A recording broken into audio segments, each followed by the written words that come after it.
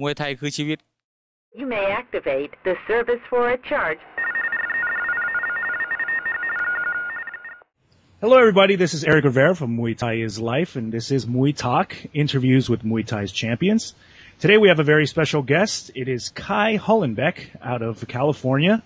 Ky Hollenbeck is currently the WBC Muay Thai World Champion, interim world champion the WCK World Muay Thai Champion at 75 kilograms, and the WCK World Muay Thai Champion at 72 kilograms as well.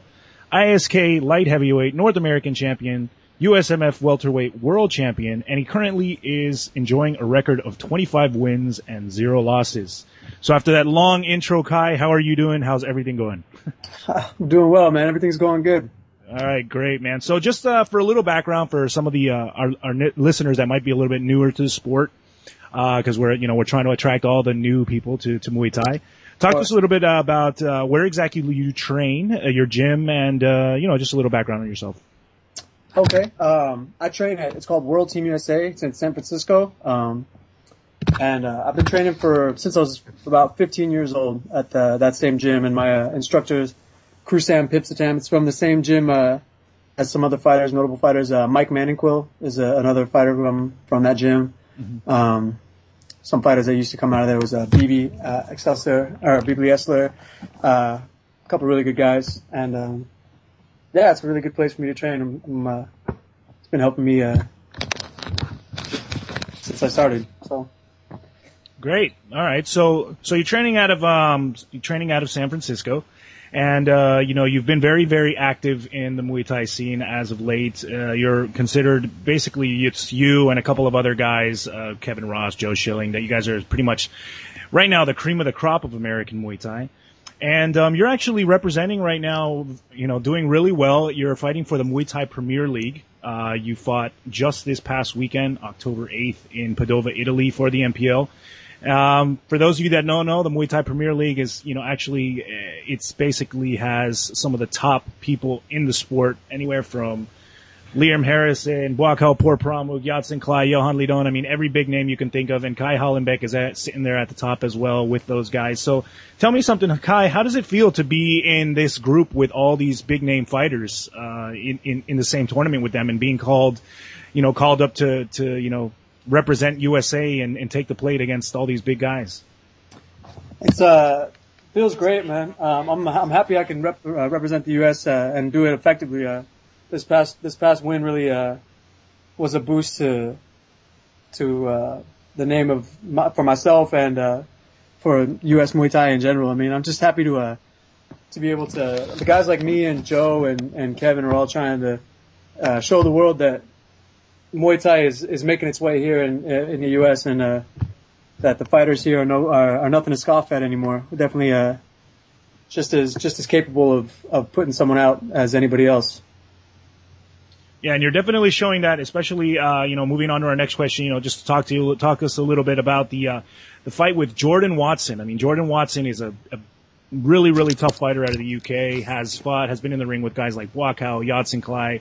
Is currently you know on the Challenger Muay Thai, which is the the reality series going on in Asia. And, uh, you know, he's a tough guy. He came in and, and, uh, I think something that's kind of been the norm for, for you as of late is always coming in kind of as the underdog and then you always come out on top and surprise everybody or, you know, I guess people sometimes take you lightly. So tell me, uh, what was the experience fighting a big name like Jordan and, you know, coming out on top? I mean, how, what did he, uh, what did he have during the fight? How did the fight go? And talk to us a little bit more about it. The fight went well. Um, there's there's all that controversy. Uh, I mean, everybody from everybody has their favorites, so wants their favorite to win. win so when they don't, they uh, they have to come up with a reason why. Um, the fight was good, man. We both it was a back and forth fight. Uh, I ended up dropping him in the in the first round. Um, he with a spinning back fist hit him right on the back of the ear.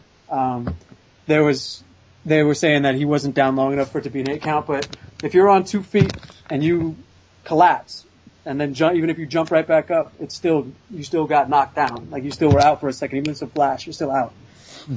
But um, and then uh, then the back and forth. Uh, I used mostly uh, a lot of hands.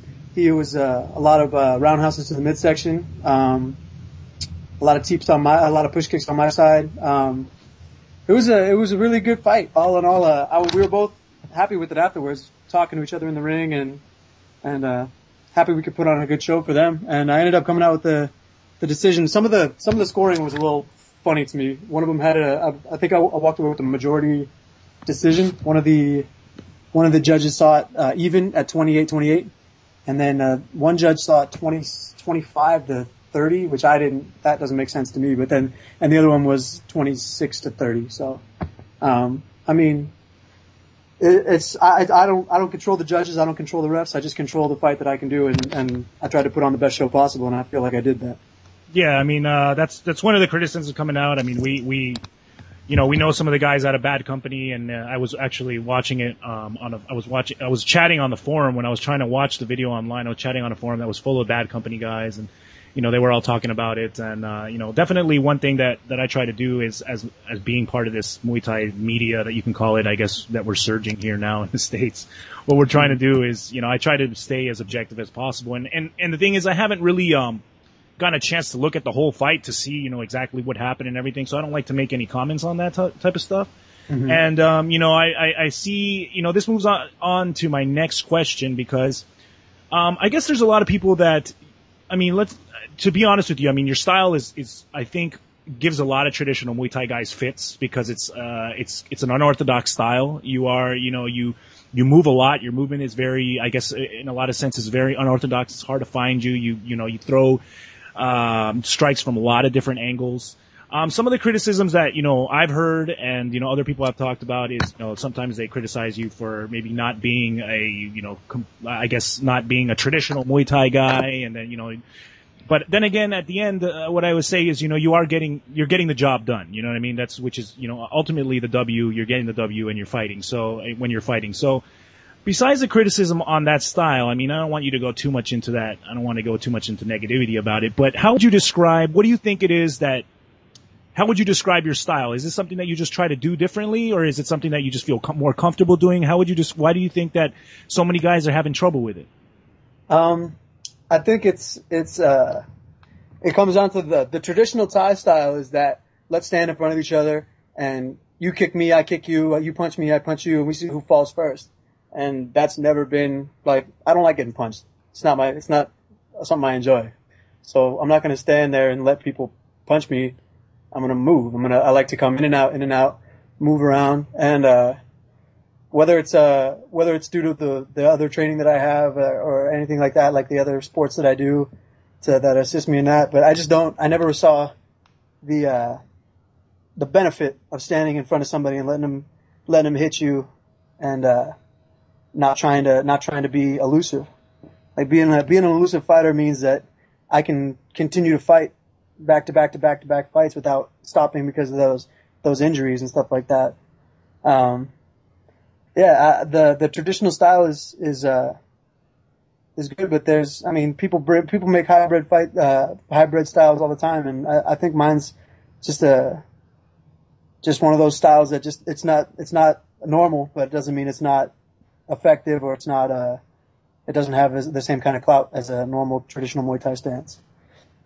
Sure. I mean, no, that's uh, you know, that's one thing that uh, I guess has been talked about a lot. But I, but you know, I you know congratulate you for you know always getting things done. I mean, you step into these fights with a lot of guys basically saying this is going to be the toughest test. I mean, uh, we've heard it all the time. You know, we heard it all the time, and and we've written it on Muay Thai's life. You know, it's going to be the toughest test for you when you fought Vuyisile Colossa, when you fought Simon Chu, now when you fought Jordan Watson. And then moving on, I mean, your upcoming fight uh, is on November 6th, is it, I believe? November 6th. Mm-hmm. And you're going to be fighting in The Hague in the Netherlands, and you're going to be fighting Nieky Holzken. Um, so talk to us a little bit. I mean, Nieky Holzken, I mean, his style, eh, you're going to, is this going to be your first time fighting somebody which is going to have the, instead of having that traditionally Thai style, is going to come at you with a very, very Dutch style, which is a lot more boxing centric? I mean, is that the first time you're going to face somebody like that? Um, no. Uh, I fought, uh, Vusi Colossa, a really, really hands heavy guy. Um, Nieky's, Nieky's a tough kid, man, uh, a tough kid. He's, he's older than me, but he's a tough dude. Um, I've watched him fight, I've watched him fight for a long time. He's, uh, he's actually been one of the people I, I, I really respect as a fighter. He's, uh, he's tricky. He does a lot of, a lot of things that he's a little unorthodox, kind of like me, and I kind of like that. Um, he has those spinning back kicks that he does. He does, uh, those spinning heel kicks and, uh, likes to dig to the body, and yeah, he's not. I mean, if you if you saw him, you'd think more kickboxing, not less uh, less Muay Thai, but um, that doesn't mean he doesn't get the job done. You know what I mean? He's still one of the top people in the world. He's fought Buakaw, he's fought uh, Andy Hug, he's fought or not Andy Hug, but uh, Andy Souwer. He's fought, I mean, he's he's a monster. So I'm I'm super excited to fight him, and uh, it's gonna be it's gonna be pretty tough fighting him in in Holland because it's hometown. But um, I couldn't be happier. I couldn't be more uh, more excited to to take the opportunity. Yeah, yeah, and you actually touched on my my I guess my next question. I mean, the fact that number one, yeah, Nieky Holzken is one of the toughest guys. He's actually, you know, one of my favorite fighters. I, I mean, I love the Thai boxing style. I train as well, and but I also love, you know, the uh, one thing that I like a lot has always been the Dutch style. Um, I guess particularly, I'm a heavyweight, so particularly when I fight, a lot more times it's it's a lot more K1 influenced because of that seems to be more of the availability for me at that weight. Yeah. But um, you know, he's definitely one of the top guys, and he he's got a lot. He's I think in this fight uh, what I'm excited to see in this fight with you and him is is exactly as you said. I think uh, a lot of times styles make fights. Uh, I think you know you've proved that your style is very very good, very very tough at isolating a lot of the Thai guys. It's going to be, I guess, it's going to be a new thing to see how it's going to work out with a guy who's not only Dutch style but maybe just as unorthodox as you. I think that's going to be a really tough fight.